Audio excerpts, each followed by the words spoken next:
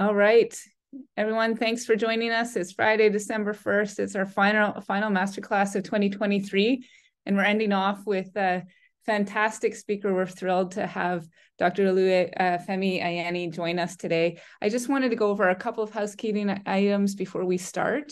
And for those of you that have been joining for the last 12, you'll be well familiar with these. Um, but we will start with just um, a welcome, letting everyone get settled. And we will start with a land acknowledgement and then I'll go over some final uh, housekeeping items. So to begin, uh, we acknowledge that this is sacred land upon which we are privileged to live and work. We recognize the deep connection and long-standing relationship between Indigenous peoples in the land of Southwest Ontario and of London. We acknowledge the Anishinaabe, Haudenosaunee, Lūnaapéewak, and Ktunaxa nations whose traditional lands we are gathered upon here today uh, at Western University in London, at least where I am. And we are deeply grateful to have the opportunity to be in this place. And so to start off, just a couple of housekeeping items. We've turned off the chat and we'll be using the Q&A. So one way to use that well is that if you have a question, pop it in anytime. We save the questions and answers until the end of the presentation. So just drop in your question there. If you see somebody else's that you really like, just like it. Essentially, it will upvote it. So the most popular questions get to the top of the line uh, and we'll uh, and we'll go through that at the very end. We have about a 40 minute presentation and, and anywhere from 10 to 15 minutes of Q&A.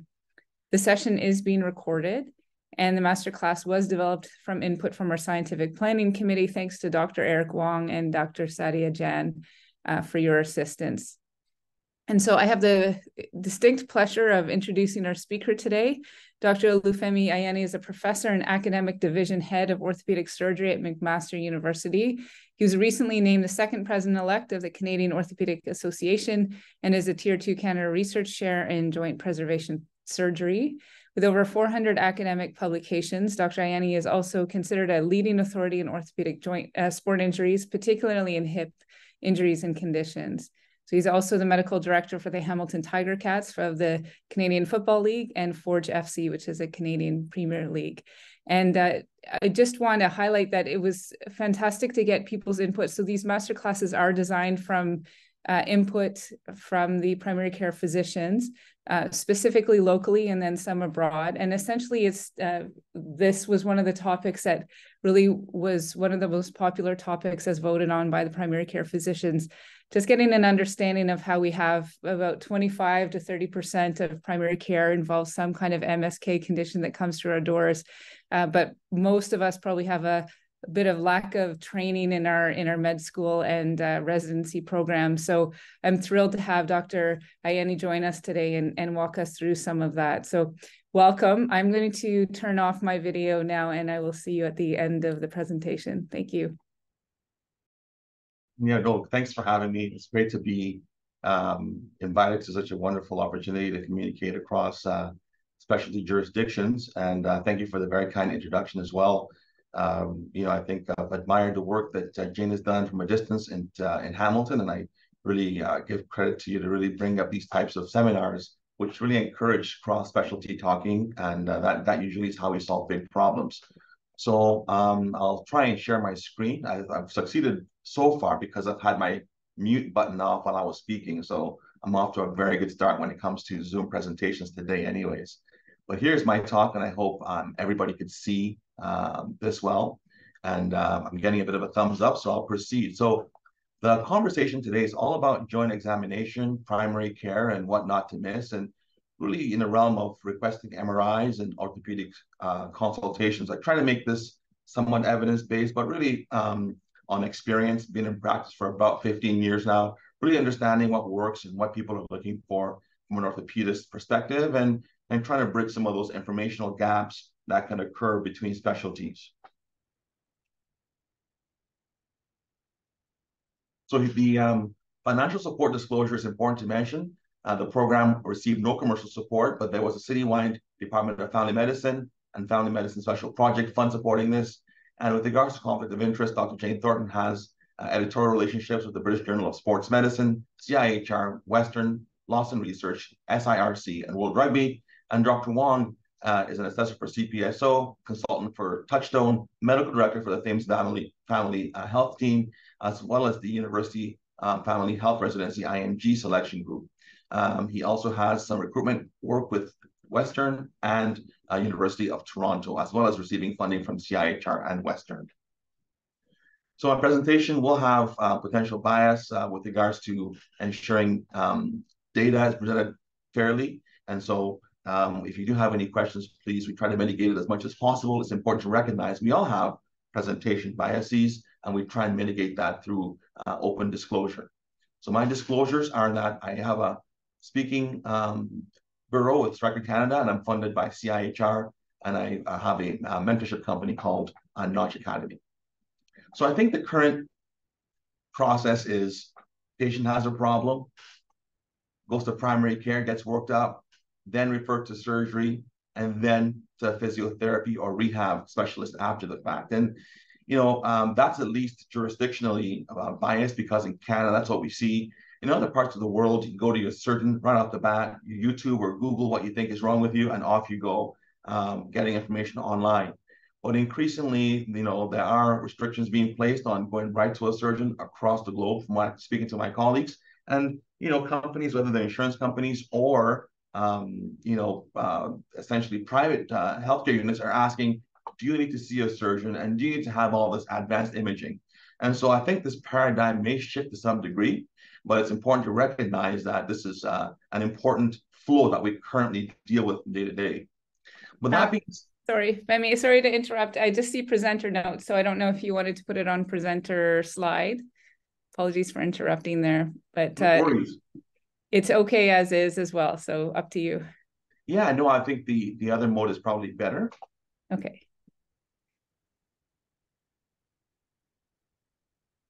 that different at all? No, it still says, um, at least on my view, um, it still it shows the um, uh, kind of the next slide, the no notes. It's pretty small, so you can mostly see the screen, but um, we can. Uh, I'm wondering, yeah, because it shows presenter view. Um, let's see. Yeah, maybe if we try again, or I will. That's perfect. There is that good for you? Yeah, absolutely. Okay. Yeah.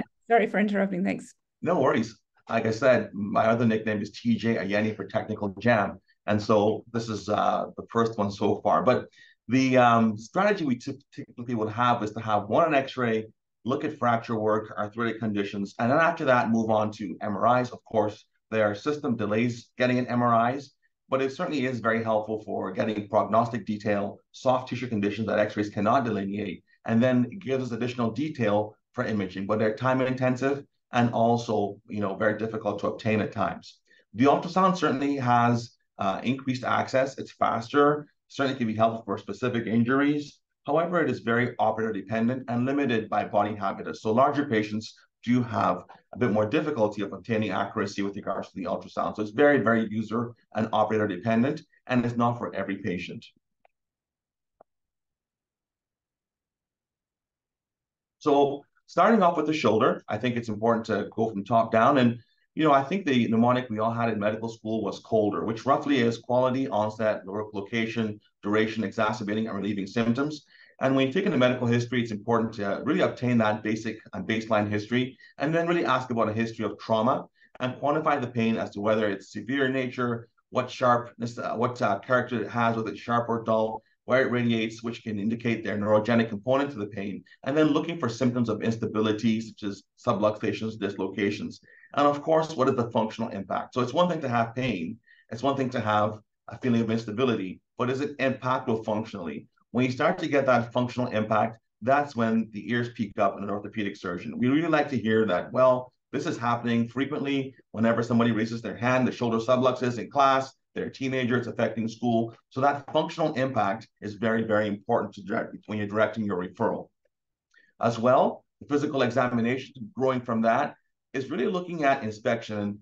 Good thing is shoulders are symmetrical or should be, and we have two of them. So comparing side to side probably is a very, very effective strategy of identifying if you have some other, um, you know, pathological changes that warrant further investigation. So looking at deformity, looking at muscle wasting, as you see in that picture, skin changes, any masses or swelling, you can really pick this up when you compare side to side. And it doesn't really help to be dogmatic, but have a system. Be systematic in what you're looking for. You ask the right questions, then you go looking at inspection, and then you go range of motion, and then you palpate, and then you go to your special test. But as long as you have a system you repeat consistently, generally speaking, you will not miss a lot clinically when you are assessing these patients, and your imaging and referral requests will be, you know, expedited for the most part because really you are on top of the game. You're really picking out what needs to be um, investigated. Special tests most commonly are for rotator cuff, and you see those mentioned below. Uh, the impingement test, the empty can test, they're all reasonable, not perfect, some sensitive, not very specific. And the stability tests are also, um, when you do them in triplicate, very helpful, which is your apprehension, relocation, and rebound test, which um, I think we all know about.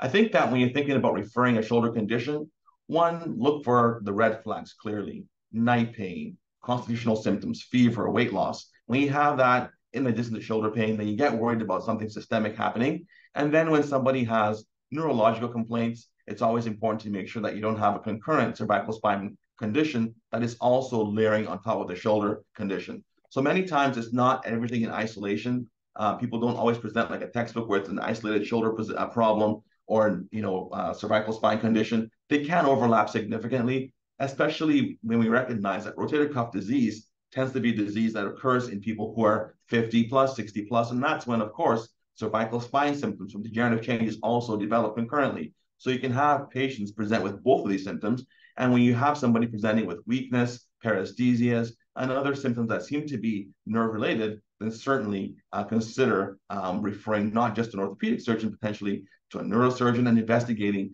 uh, with more um, uh, advanced imaging, such as MRI of both systems.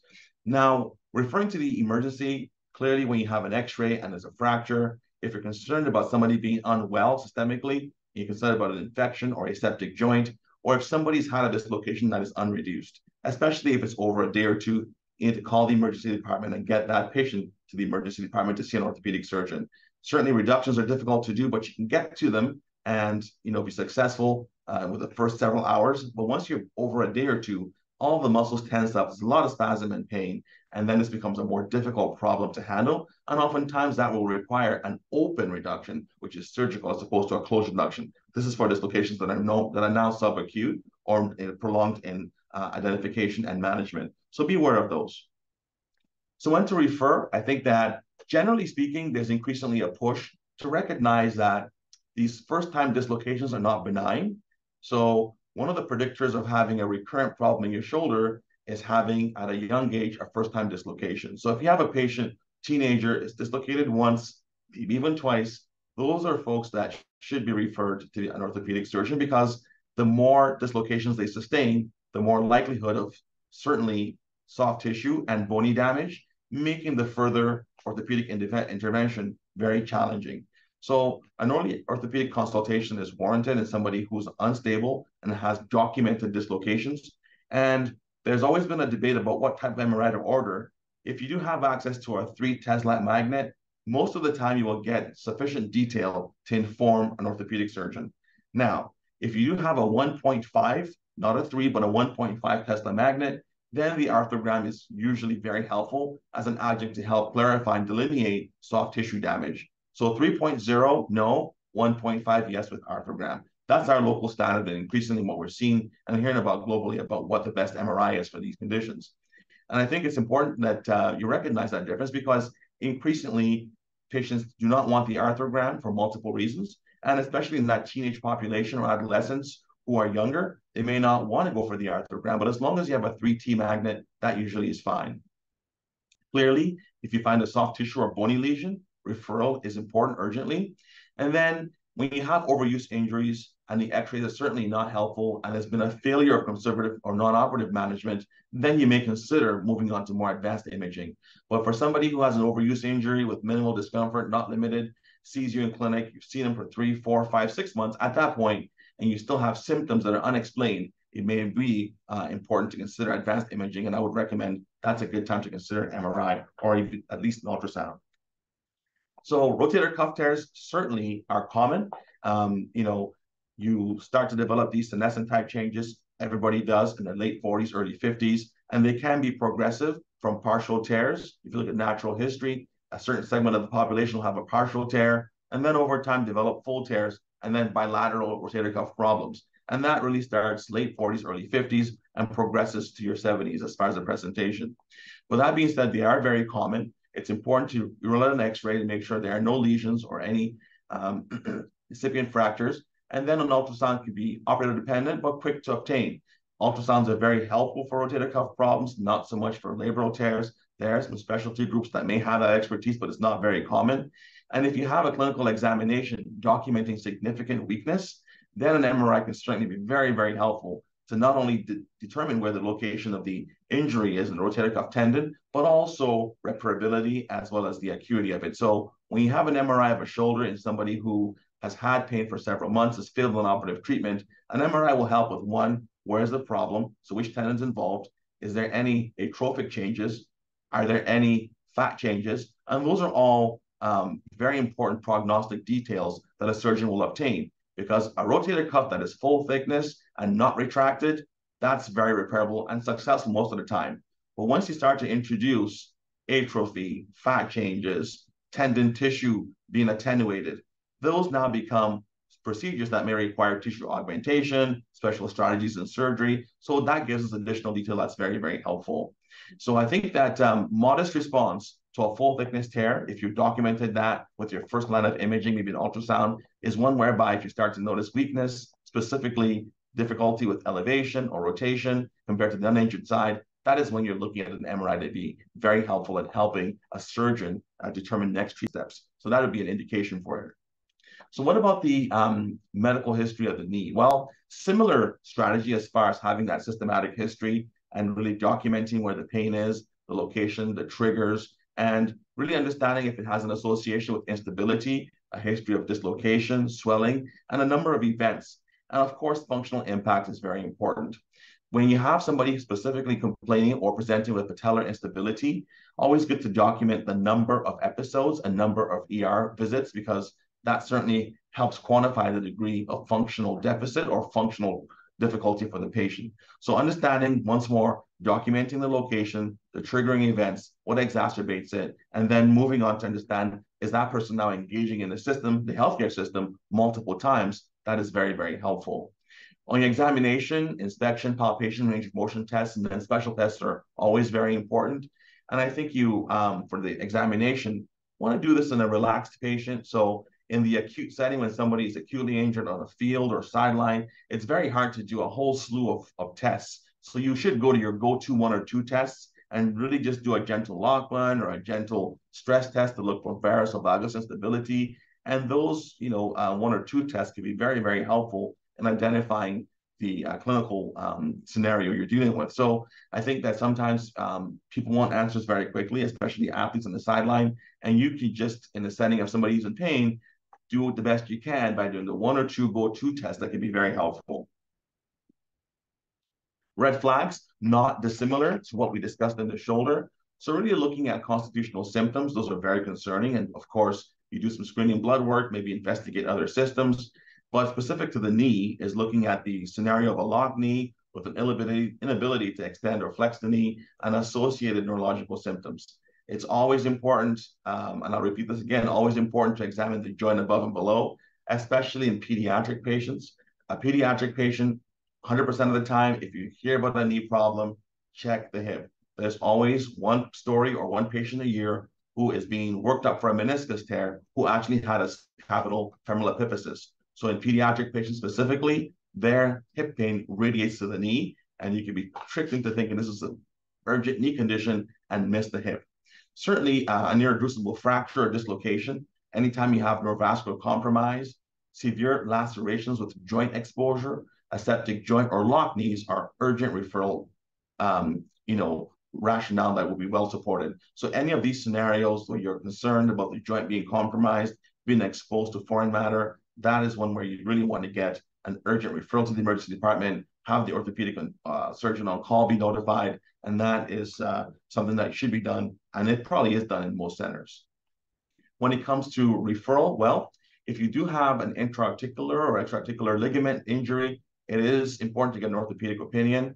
Even a condition like an MCL rupture, whether it's partial or full, there will be questions about return to sport in the athlete or healing potential. And so those that are even felt to be benign do warrant some orthopedic input. And I think that when you have somebody with patellofemoral instability, especially if recurrent, an orthopedic referral and an MRI is prudent. You can diagnose an MPFL or medial patellofemoral ligament injury, any associated chondral injuries of the patella, if this is recurrent or even trochlea, and then can really give some good prognostic detail for your surgeon to work with. The ACL, well, some will say you don't need an MRI, and that certainly, with a good clinical examination, is good to uh, to potentially bypass if you can get into a specialty clinic that has a high skill level. There are associated injuries that are concurrent, meniscus, cartilage, that can be missed in these scenarios. So, you know, the more information you have, the better. But there are some centers that will simply go on clinical imaging, clinical testing, and basic imaging, such as X-ray, which could be very, very pathognomonic for the condition. But in our center, we will obtain an, an MRI to identify several prognostic factors. If the patient is non-ambulatory, not weight, not weight bearing, and has an active effusion, specifically with that plant pivot and pop mechanism, we generally would recommend an MRI to delineate the conditions we're uh, dealing with. And of course, once more, we have two more on every slide because once a year, just like clockwork, we always seem to pick up a random osteosarcoma that we didn't expect. And we thought this was knee pain from a meniscus. So it doesn't hurt to get that primary screening x-ray, make sure we rule things out, and then move on to the specialty tests. Um, certainly, I would say that if somebody does have a basic x-ray, osteoarthritis, especially if it's moderate to severe, going down the pathway of an MRI is not very helpful because the interventions that you may require um, with severe or moderate to severe arthritis do not require MRI imaging. Generally speaking, you're looking at potentially non-surgical management, or if surgical management is warranted, a joint replacement. And you would not necessarily need an MRI to determine if you need to have a total knee replacement. MRI typically is for soft tissue injuries, ligamentous injuries, those amenable to arthroscopic interventions, which arthritis is not. Moving on to the hip, um, or back up to the hip, um, same cascade of questions, and really looking at feelings of instability, mechanical symptoms associated with this, and really recognizing that you can have overlaying symptoms again with sciatica, low back pain, or urinary symptoms, and quantifying the functional impact is also very, very helpful. When you see somebody with this problem, especially in a pediatric, as you see in that x-ray, just remember one more time, the hip pain can radiate to the knee and always examine the joint above and below, especially in pediatrics, very, very important. And location of the discomfort is very important to rule out um, having any lumbosacral involvement triggering the hip and or groin pain.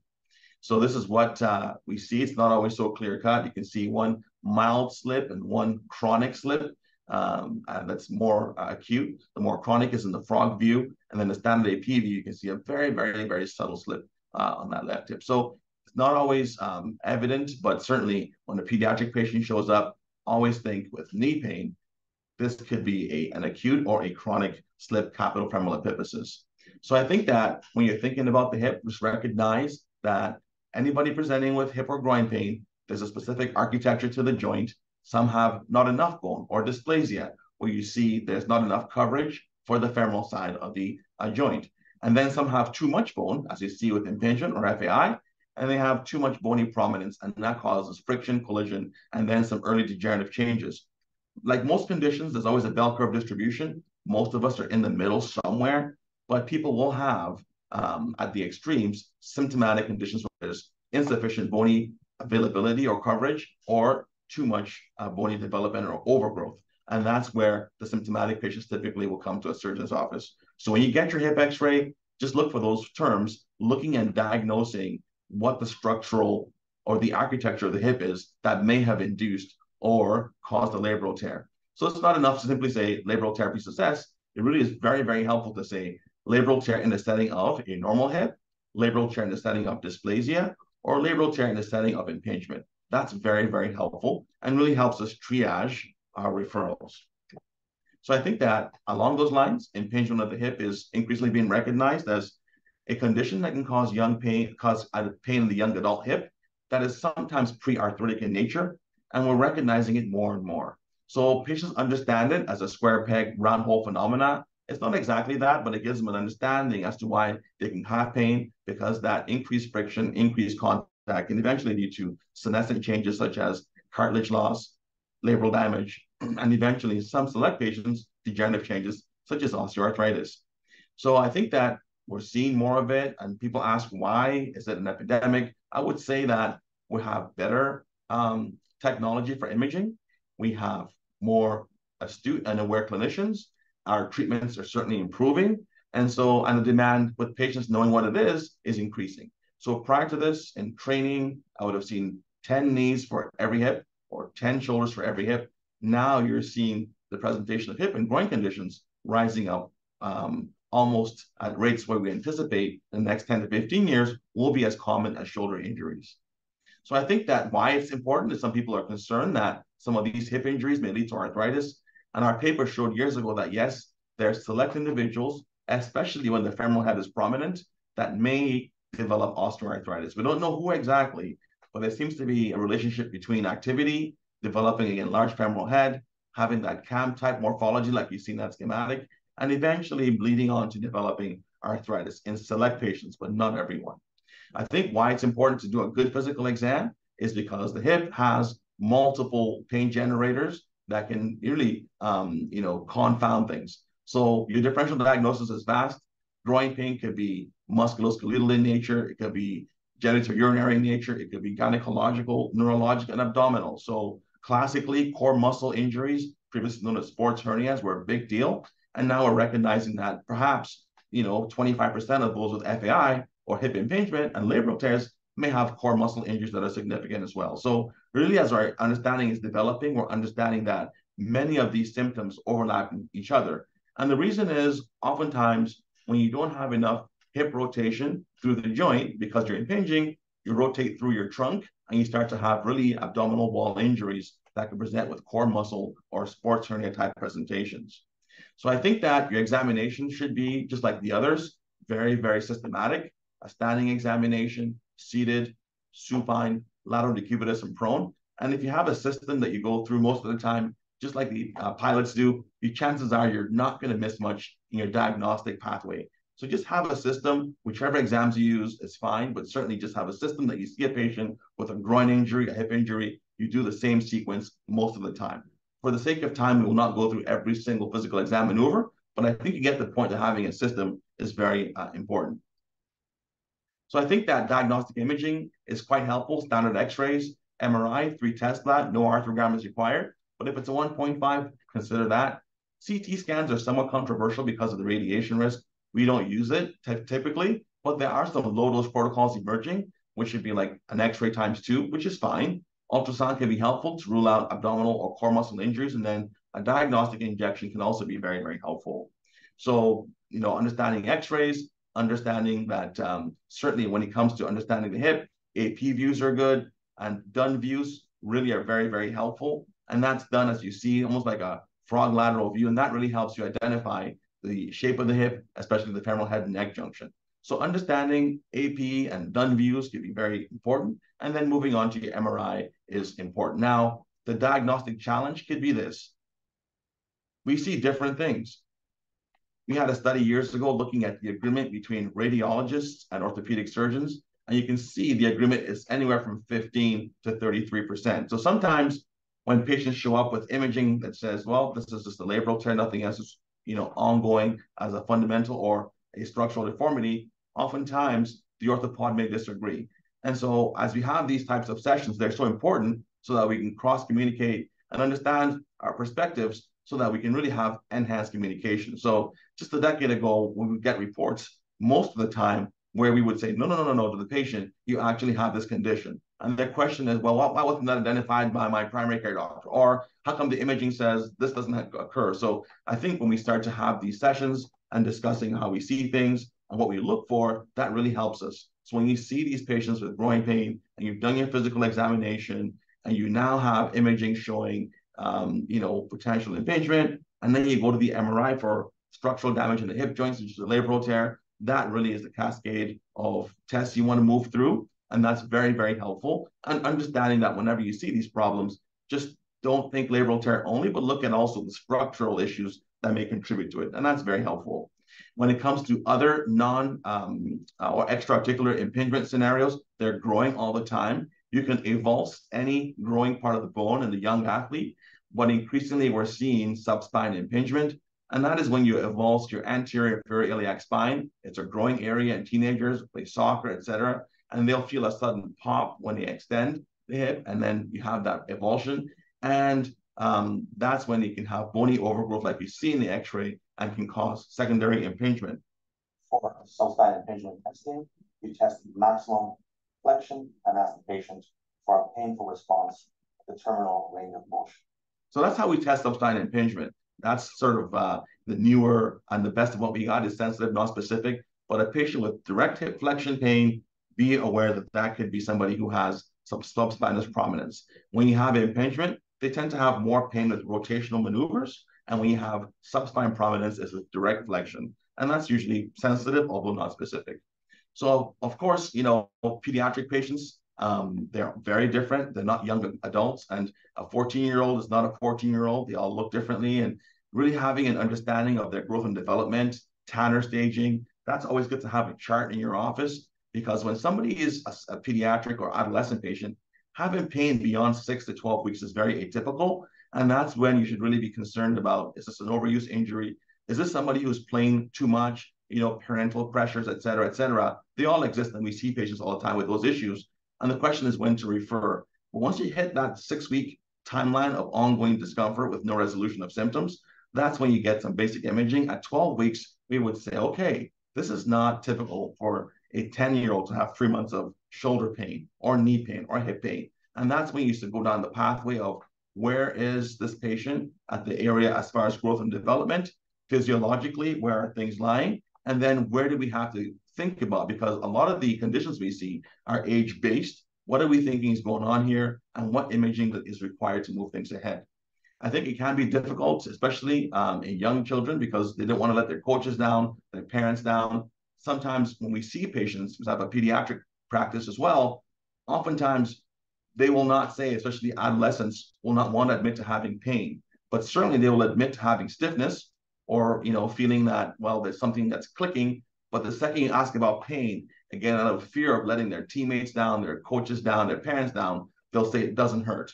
But if somebody's coming to your practice, to your practice, and they're presenting with you know obvious discomfort, and you can see them once you get physical examination, that's when you should really consider going to imaging, and then based on your findings and concerns, refer. Always again with the red flags, please. Um, it doesn't hurt to ask any fever, night pain, uh, disturbed sleep, weight loss, things that we all ask about, but sometimes in a busy clinic, we just think, oh, looks healthy, and let's just move through that. And of course, now understanding that cascade of instability lives in a spectrum and looking at Beighton screening, looking for joint hypermobility, that's increasingly becoming very, very important. Because many patients have, you know, live on that spectrum of not maybe not having a full connective tissue disorder, such as an Ehlers-Danlos, but have, you know, uh, tendencies to have joint mobility, which may predispose them to having joint injuries. So screening that is very important in the pediatric patient. I think um, we'll go through uh, a few pediatric conditions and some of the imaging that we'd recommend. Rotator cuff issues, typically not an issue in pediatric patients. Again, that's something you see late 40s, early 50s, but do think about instability, think about overuse, especially if you see x-ray findings and the physis, and think about muscle type injury. So shoulder pain in a pediatric patient tends to be overuse in nature. When it comes to the elbow, pain and stiffness, mechanical symptoms, that really helps you identify somebody who may have um, a capitellum chondral defect, and it's not a tennis elbow again in this population. So sometimes we layer the diagnosis in adults on kids, and tennis elbow, rotator cuff, those don't commonly appear in the pediatric athlete or young adult. Little leaguer shoulder, not uncommon again, overuse, typically adolescent, overhead athletes, pitchers, quarterbacks, they'll have pain anterolaterally. You can see the arrows showing the widening of the physis as well as sclerosis, and pain is reproduced with a provocative movement. And it's important to make sure that um, rest, rest, rest is, is uh, prescribed. And when you see changes like physis widening, sclerosis along the metaphysis of the um, proximal humerus, you don't have to go to an MRI for that. That's a pretty clear diagnosis. And then you may have to bring that patient into a room by him or herself and ask, what are you doing and how much of it is going on? And then you'll get an understanding that this is somebody who is at a super exposure level for their sport, for their age, and they're playing on two different teams and three different leagues and two all-star games, et cetera, et cetera. And those are people and young people that get into troubles with their joints. Transient synovitis, septic hip, well, transient synovitis is a mimicker, but certainly you want to make sure that you um, refer if you have any concern about somebody who's limping, is not weight bearing, has had a history of a fever. Uh, those are all things that if you have any suspicion of a septic joint, please um, consider calling your ER and referring that patient. Looking at the knee in the pediatric patient, uh, and then looking at the conditions they will present with typically to your clinics and offices, Also, osteochondrosis dissecans can really be um, you know, one that presents with vague symptoms and always hard to diagnose without MRI imaging. But a referral to an orthopedic surgeon is warranted if you do diagnose that because they can become unstable. They may need surveillance over time. And if you have a pediatric patient with knee pain, an x-ray showing an osteochondral lesion, that I think is warranted as far as referring to an orthopedic surgeon. And an MRI imaging can be helpful to really assess stability, give prognostic detail, and help for surgical planning. If you have Osgood-Schlatters disease, that is typically an apophysitis of the tibial tubercle, and you'll feel the enlarged tubercle. It'll be painful to palpate, and x-rays are helpful and confirmatory, treated non-surgically the vast majority of cases, and don't require MRI imaging. When it comes to the patella instability, history is important. And when somebody has had a history of recurrent instability, that is when we tend to really think about MRI imaging because that can be very, very helpful, as well as a referral to determine whether or not this person has ligamentous disruption, attenuation, and a um, potential for requiring surgical stabilization. More about that again, the hip we talked about. Please, we're seeing these young people more and more, but always examine, you know, the joint above and below. Um, when somebody presents with a C sign, like you see, they cup their hands like a C, grab the hip and groin, we can identify that they may have a joint problem. And especially in Canada with the um, hockey culture we have, meaning that a lot of young children are playing or adolescents are playing hockey. We see a lot of young people now, um, you know, showing up with injuries that are subtle in nature, but can be identified with good physical examination. They don't all need surgery, but certainly a good imaging with an AP and Dunn view. And then if you have pain that is not subsiding with rest, non-operative treatment, MRI can be very, very helpful and a referral to an orthopedist. So I think, you know, um, in wrapping up, we're looking to impact practice. And I think this is why this seminar was put together really to just get an understanding of what we look for, what we get concerned about. Clearly, constitutional symptoms are important. Pain that is, you know, um, beyond the time from what we expect is important. Young pediatric patients that present like tendinopathies are important because really they aren't. And recognizing that having a systematic examination, done above and below, being important are some of the key features. I would say that it's important to um, understand why to refer and when to get advanced imaging like MRI because wait times are only um, increasing. And I don't really see that changing anytime soon. And so the surgeons and the clinicians have to triage based patients based on medical need.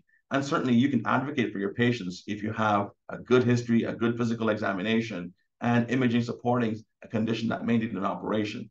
We do know that there's a lack of standardized criteria for consultations and MRIs. And so the future really will be looking at AI tools to help us diagnose conditions and refer better. And, and that'll certainly come, as well as the classic guidelines and best practice uh, documents and CME events like this to of increase our education and communication across specialties. But I think that's great because this sort of seminar is very helpful, at least getting the conversation started about what we look for, what we're concerned about, some red flags, when to refer, when MRIs are helpful.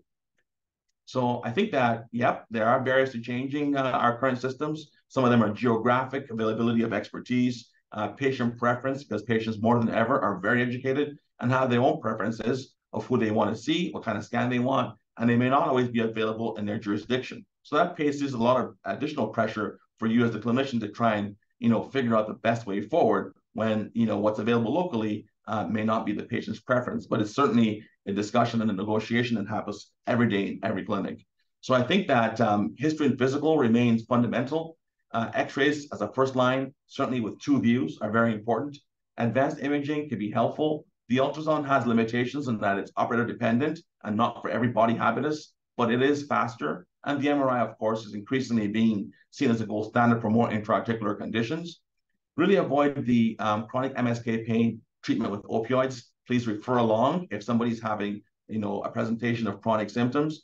And if there's still a doubt about the diagnosis, it doesn't matter to ask. It doesn't really hurt to ask for help. And sooner better than later, uh, you can always call somebody and say you're concerned about one of your patients. And a surgeon typically will be reasonable enough, I hope, to say, yeah, listen to that because you are concerned, you call me. And that conversation can go a long way to advocate for your patient if you find they're being sort of bogged down in the system and not getting that access. A call can go a long way. So I hope that was helpful. Uh, and I think that um, we approach things differently. Evidence-based medicine is certainly part of the pivotal uh, nature of what we um, what we do. And although it wasn't an evidence-focused talk, more practical, uh, a lot of these tests and strategies are based on that evidence-based um, strategy and paradigm. So thank you for your time. Thank you, Femi. That was uh, fantastic. Thank you so much. I really appreciate going through all of those things. And and it's just as you said, I mean, with these different conversations between specialties, we can improve, I think, care for the patient ultimately, and also understand the system a little bit more. Because I think one of the things, you know, getting back into practice and out into the world and realizing that so much of our barriers to practice are likely administrative or not being able to have these kinds of conversations and understanding as you said, the the best practice guidelines and things like that, not being able to keep up on everything, so to speak. So I, I really appreciate that. Particularly as we say that there's so many presentations that come into primary care about MSK issues. Uh, and and I also really do appreciate the pediatric point of view because uh, we do see it's quite different. And I know there's been a lot of questions over the years in terms of how we how we might uh, change our practice a little bit better from a primary care standpoint, primary care sports medicine, which is what I do, but in the sense of really um, having that that specialist view is from your perspective is is really key. Um, so I'm going to start with a question. So I uh, I see a question here from uh, Nisha Aurora. So there's a couple of questions so far. Okay, we're getting some more in. Um, so Nisha's asking if it's a full thickness tear. So going back to shoulder. So if it's a full thickness tear confirmed on shoulder, ultrasound or MRI, do all of these go to a surgeon? What if they're older? What if it is subacute? What is the age and time cutoff? And I usually suggest physio first, refer if no better after six weeks. So I, I don't know if you'd be willing to. And she's saying I will clarify more non-traumatic shoulder pain. So um, yeah, I don't know if you have a comment on that, if you'd like me to.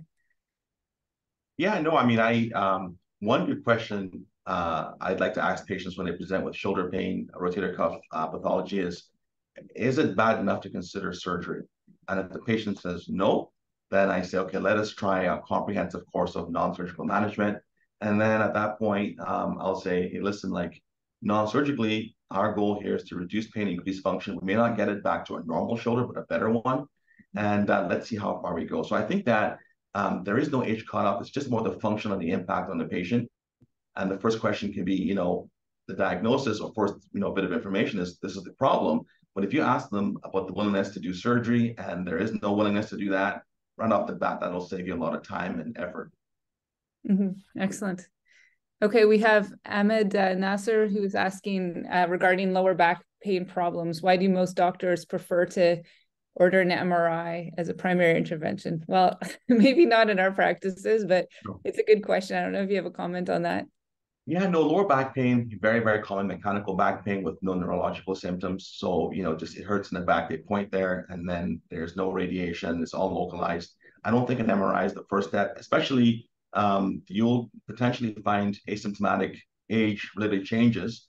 And mm-hmm. once a patient, you know, uh, has that information, it becomes very, you know, very, very daunting and very scary because naturally you get that information, then you go online, and then at that point, you're in the world of information that sometimes is unfiltered and uh, concerning. So I would say that um, anybody presenting with focal back pain, therapy certainly is a first line, uh, non-opioid based uh, anti-inflammatory management, exercise and active based treatments, that would resolve the vast majority of these.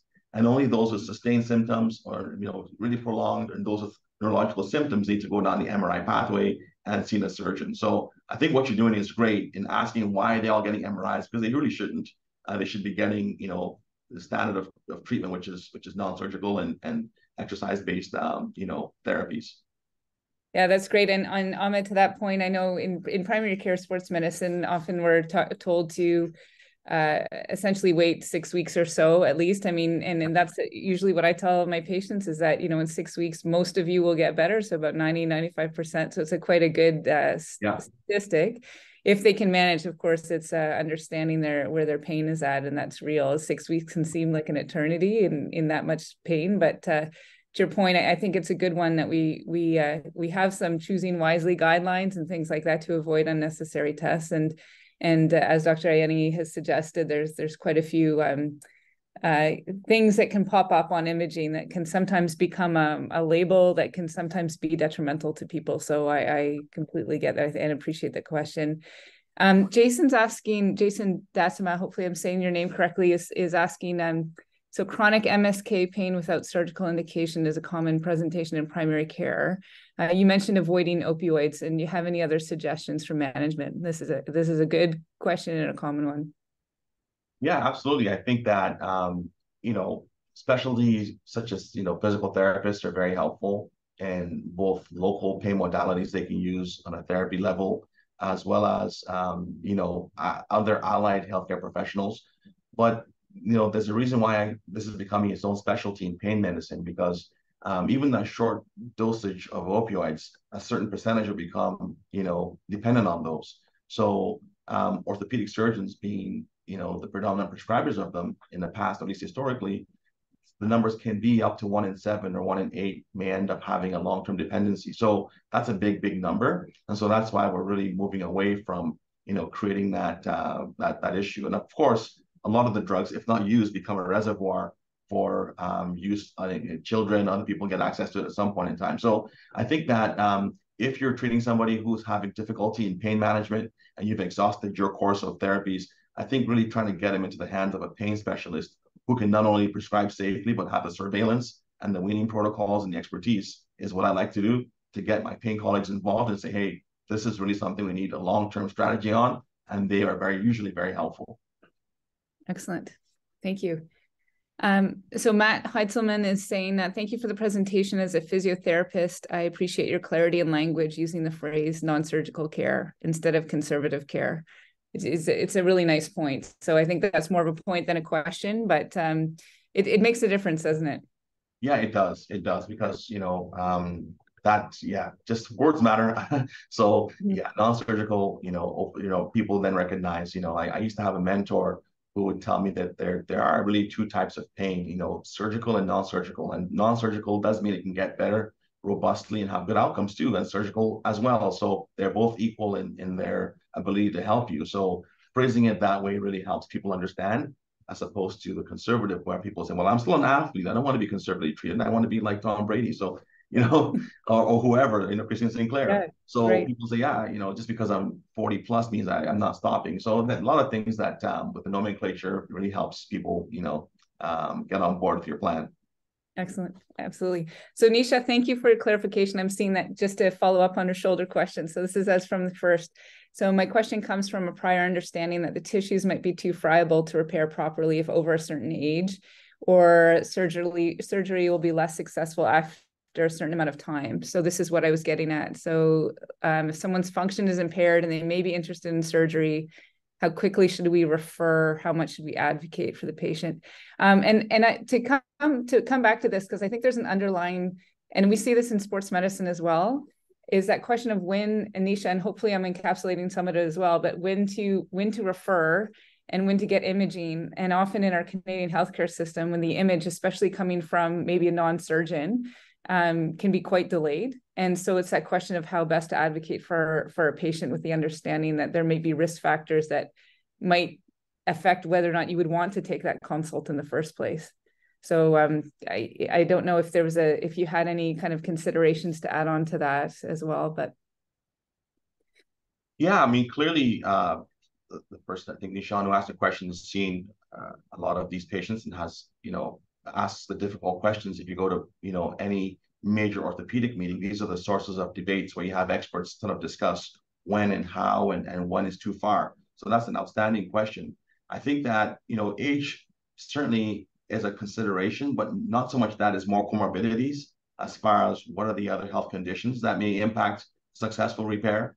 Um, so there's some things there. Uh, but more importantly, it's tissue quality. So If you mm-hmm. look at an MRI and you see that they talk about fatty atrophy, tissue attenuation, retraction, multiple tendon involvement, those are problems that probably are in the or moving quickly into the irreparable category. And then you're starting to think about is this replacement territory or arthroplasty?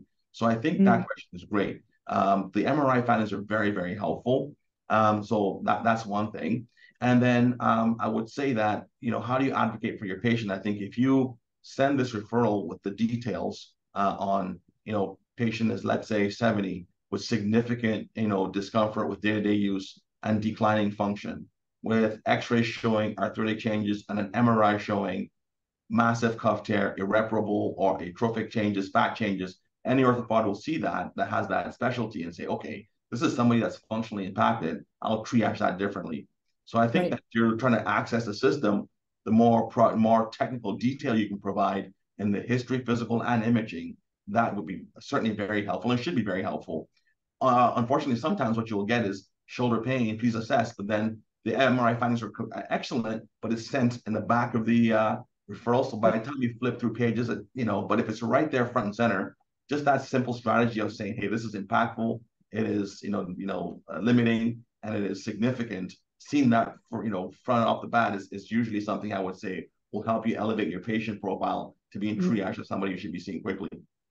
And that, I think that's an excellent answer. And it's interesting. It really resonates with some of the, one of our first speakers was a sports radiologist. So Dr. Bruce Forster at UBC. And the, the question too about that idea of really making it as specific as possible for the referral really, really helps with in terms of advocacy for your patient and also appropriate triaging in the sense of knee pain, please assess, or shoulder pain, as you say. Yeah um, really trying to put everything as possible in that comment uh, line and and help with that. Absolutely. Absolutely, yeah. Um, so two, one quick question, and then I'll and I'll fi- we'll final finalize with uh, a last question on pediatric um, conditions. But the the first one you'd mentioned, and this is quite helpful for me too, actually, because I think it's very center dependent. But that aspect of three Tesla MRI being sufficient if you're trying to look at labral involvement in the shoulder, you'd mentioned 3T MRI versus um, 1, 1.5. That's when you might want to think about arthrogram. Um, a quick question about that. Do you would you think the same for the hip or is it is it slightly different? Yeah, the same for the hip, I would say.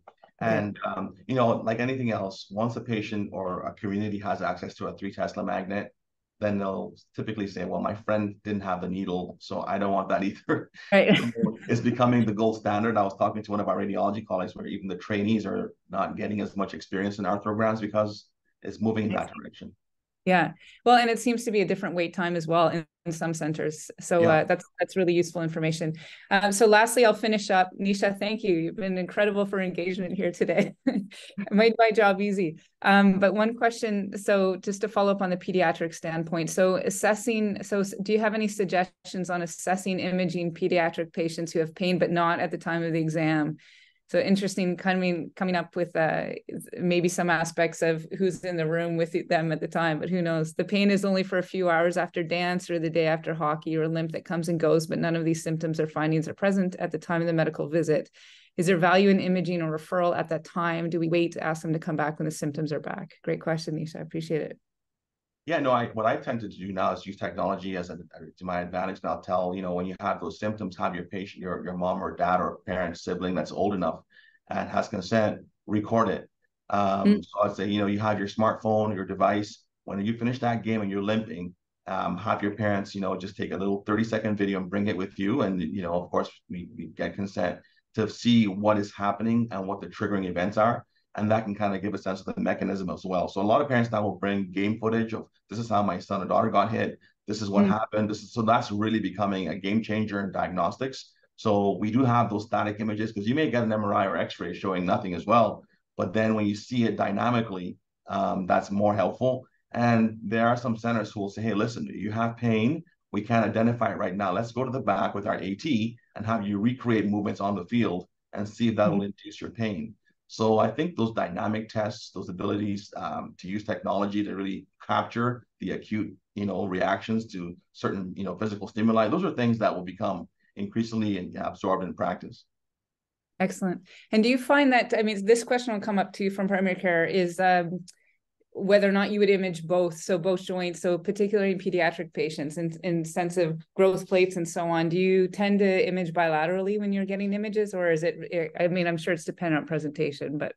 It is present on, uh, on depending on presentation for sure, but I have a low threshold to, to do a bilateral scan to mm-hmm. see what's going on. And, um, and parents are usually very uh, amenable and agreeable to that as well. Excellent. Thank you, everyone. We're going to have to wrap up there. Um, Dr. Ayeni, thank you so much. It's it's such an honor and privilege to have you on, and uh, fantastic speaking, very clear and very applicable to clinical practice. And as you said, it was exactly the kind of um, you know you'd mentioned that we want some interdisciplinary talks and things like that. It is very clinically focused. Um, with the sprinkling of evidence base, which is also certainly in your presentation as well. So I really appreciate that because uh, it's definitely helpful to our clinical practice and understanding of MSK issues in the in these populations that we see. Oftentimes, primary care will be first line, and uh, it's really helpful to know what are the next steps. When should we be worried? Refer on, and that kind of imaging to choose how to advocate best for our patients. So I want to thank everyone for joining. Um, you'll be sent an email containing a link to the participant evaluation um, survey tomorrow. So please take time to complete the survey. And then you have the option to indicate if you'd like to have a certificate of participation. Um, this is for CME in particular. So if you click yes, you'll get another link to input your email so that um, your evaluation remains anonymous. Alternatively, you can also reach out to our research coordinator to receive uh, your certificate of participation. And her address is in the chat. It's Kristen. And, uh, and she can also be reached with any questions or concerns about this as well. Um, so I want to thank again everyone for your participation and engagement over the, the past year, or if you're just on for the first time today, welcome and thank you for participating and wish everyone a happy holiday season and Thanks again, Femi. Truly an honor to have you on the call today. My pleasure.